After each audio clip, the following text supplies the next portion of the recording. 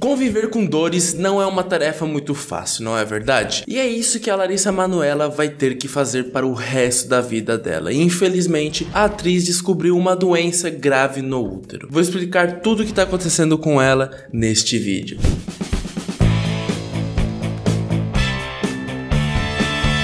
Larissa Manoela descobriu que tem endometriose. É uma doença no útero que atinge muitas mulheres. É um distúrbio no tecido que reveste o útero que cresce para fora dele, causando muitas dores para resumir para vocês. Então ela promoveu uma live em seu Instagram para conscientizar as seguidoras e fazer um check-up na saúde e se informar sobre a possibilidade de terem a doença, já que muitas mulheres não descobrem o problema. Ela que mantém uma rotina de treinos e vida saudável ainda ainda desabafou sobre dores causadas pela endometriose e se mostrou muito grata também por ter se informado com um médico especializado durante a sua live na última terça-feira, dia 31. Larissa desabafou também sobre a live dizendo que foi muito especial, foi realmente uma aula do Dr. Cláudio. Ela ainda falou que é tudo muito novo para ela, que está descobrindo tudo ainda. Então é algo muito recente, até porque aconteceu nesse dia, nessa terça-feira, né, dia 31. Larissa Manoela ainda falou que foi muito muito importante ter compartilhado e aberto algo muito pessoal da sua vida. E também saber que pode inspirar outras mulheres a fazerem pesquisas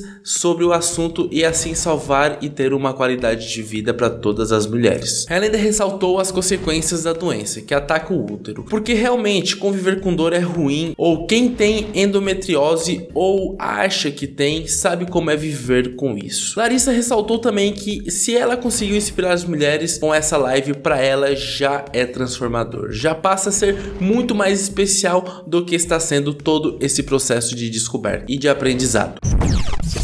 Ela confessou também que levou um susto ao descobrir e sempre teve o sonho de ser mãe. Na live com seu médico especializado no assunto, Dr. Cláudio Crispi, ela celebrou o fato de ter descoberto isso cedo e já estar em tratamento. Ela ainda relevou como se sentiu ao descobrir que estava com um problema. Me assustou, porque um dos meus maiores sonhos é ser mãe, então graças a Deus eu descobri no início e peguei no estado inicial. É bom pegar no estado inicial, porque é uma doença inflamatória, autoimune, né? É você contra você mesmo, então é muito importante ter um suporte, um tratamento, explicou ela. Ela relevou também que a primeira pergunta que fez ao doutor sobre a doença é se ela poderia ter filhos no futuro. A dúvida é muito comum entre mulheres que sofrem da doença, como no caso da Bárbara Evans, que passa por processo de fertilização in vitro para engravidar pela primeira vez. O doutor respondeu à atriz que sim, poderia ter filhos e isso deixou ela muito feliz com a possibilidade de ter quantos filhos ela quisesse. Anteriormente, no início do bate-papo com o médico, ela se mostrou engajada em espalhar informações sobre o tratamento da doença para os seguidores. Ela contou que se sente grata ao representar tantos jovens e seu público e agradeceu todas as mensagens de carinho que recebe diariamente. Loucura, né, gente? Quem imaginaria que ela teria endometriose, cara? Tipo, muito nova mesmo, mas muito nova mesmo ter essa doença é, é loucura né?